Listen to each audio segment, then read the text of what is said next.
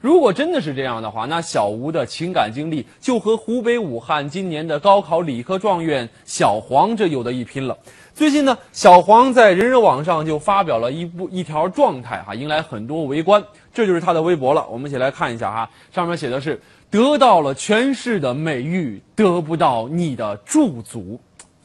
您瞧瞧，这就是学霸的忧伤啊，大有一种输了你，赢了世界又如何？一股淡淡的忧伤飘然而过。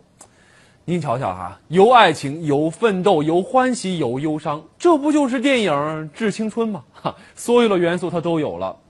呃，看完了这两条之后，我就觉得，唉，都怪我呀，懂事儿太迟啊！要是当年我高中的时候也情窦初个开，暗恋个一两个女神，当年我们省的状元就没他们什么事儿了。